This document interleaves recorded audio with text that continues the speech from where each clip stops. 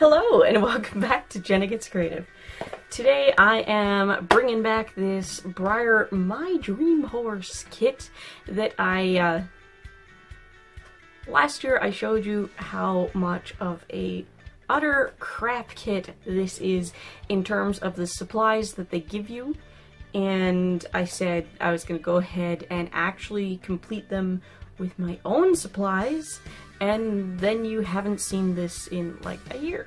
So today I am here to paint one of them finally. If you have been eagle-eyed in my intros, you may have already seen him on the shelf painted. You're gonna see me painting him now. Here's that stallion, and I'm gonna go ahead and mix some apple barrel acrylic paints. These are just your basic craft paints that you can get on Amazon. You can buy them individually or in two different sets. Not sponsored, just explaining what I'm using. I have set one, haven't had to uh, replace any colors yet, haven't added any colors yet. I'm just working with set one, just so everybody knows what we're working with. I ended up doing four or five coats of paint for the base color. You're going to see me do the first coat and then the touch-up coat and then we'll get into the other details, but just so you know, it took four or five until I had a what I was satisfied with as a good, solid, even, smooth color that didn't have brush strokes, didn't have lighter and darker patches. And yeah, I I am happy with how this paint went onto the horse, and unlike the paint that came in the kit, as you saw or will see, I will link that video up above. Uh, the acrylics that came with this kit, when I painted it onto the foal, I tested on the foal, I my fingers were a little bit wet and all of the paint just rubbed right off after it was dry. And it's that's not happening with the apple barrel paints, so it's not a problem with the models themselves, which I knew it wouldn't be because these are this they're made out of the same material that all Breyer models are. As I mentioned in the first video, typically Breyer models are uh, airbrush painted, so they get a lot of very fine details, a lot of blending, a lot of fades that you're really not going to achieve in any reasonable amount of time with crappy little craft brushes and very cheap acrylic craft paints. I am sure somebody out there has done it. I don't have the patience for that. but, you know. so I decided that this guy should be a flaxen chestnut. For those who aren't familiar with horse colors, chestnut is one of the many terms for a red base coat. Genetically, horses are either a black or a red base and flaxen means that the mane and tail, the horse's hair, so to speak, is a paler shade than the body. In some breeds, that gets a little bit confused, but yeah. Chestnut's the general term. Flaxen means the mane and tail are lighter, but it's not palomino, don't get that confused. Liver chestnut definitely, er, typically means a darker chestnut, lots of different terms. Sorrel is just equivalent alternate term in the stock horse, quarter horse world. Why am I rambling?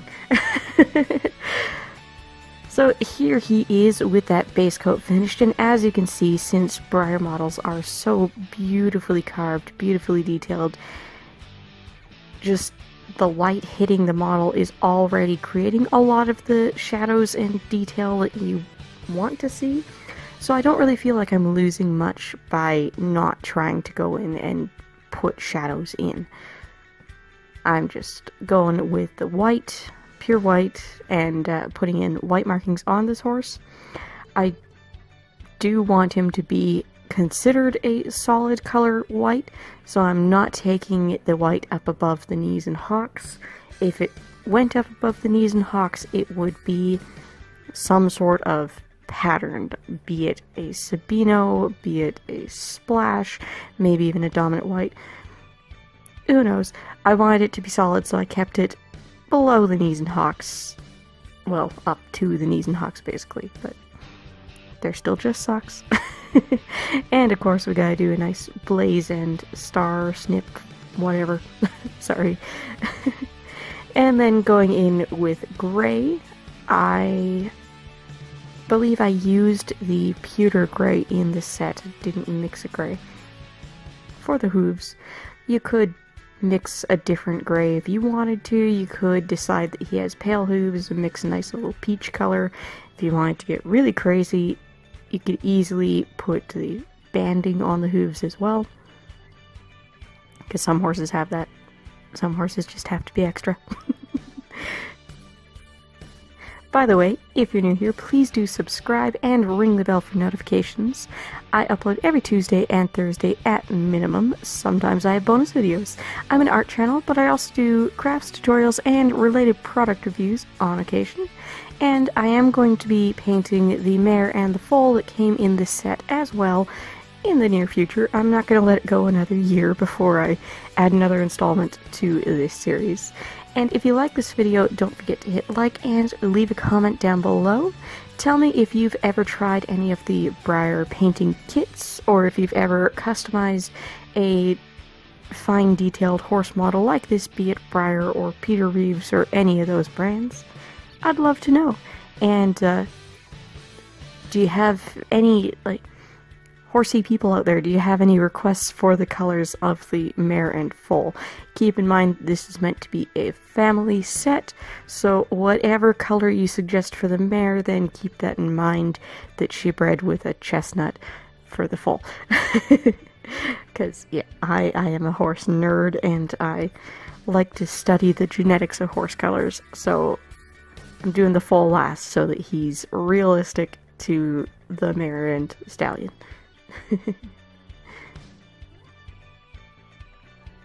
this uh, flaxen color that I made for the mane and tail, I mixed several colors together and I just it took so much to get the right shade that I ended up with way too much paint. I couldn't just leave it in the palette and let it dry, so that's why you see me using it out of a little tiny little salad dressing container. because I figured, you know, why not? I'll save it. I'll probably use it some other time. it was hard to get the ends of his tail, the ends of the little pieces of his mane, without getting that color onto his darker body. and I, I hope I did a good job there. Uh, nobody's looking too closely. And then I decided I was going to try and use my ball stylus to do the eyes, just to be careful, but for the whites of the eyes it was tedious, you'll see me do on the other side just a regular small brush.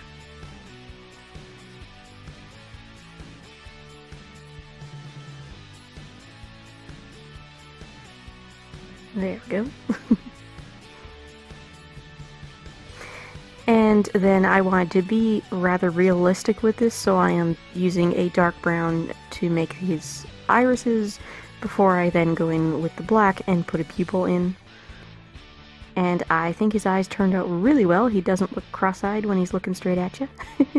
Here he is, my finished stallion from the kit, horse one of three.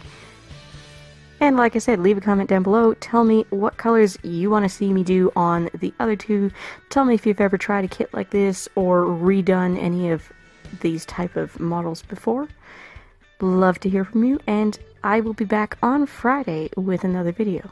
Sorry, Thursday. I will be back on Thursday. Bye, guys.